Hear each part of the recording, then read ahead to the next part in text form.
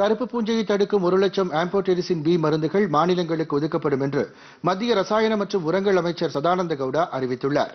இது தொடர்பாக அவர் வெளியிட்டுள்ள டுவிட்டர் பதிவில் மாநிலங்களுக்கு கூடுதலாக ஒரு லட்சத்து ஆறாயிரத்து முன்னூறு ஆம்போடெரிசின் பி குப்பிகள் ஒதுக்கீடு செய்யப்படும் என்று தெரிவித்துள்ளார்.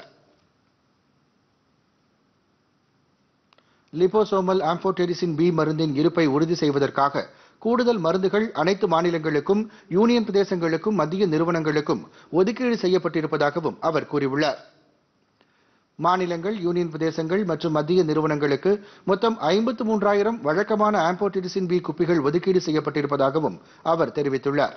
சீரான விநியோகம் மற்றும் நோயாளிகளுக்கு உரிய நேரத்தில் சிகிச்சை அளிப்பதை உறுதி செய்ய இந்த ஒதுக்கீடு மேற்கொள்ளப்பட்டிருப்பதாகவும் அமைச்சர் சதானந்த கவுடா தெரிவித்துள்ளார்.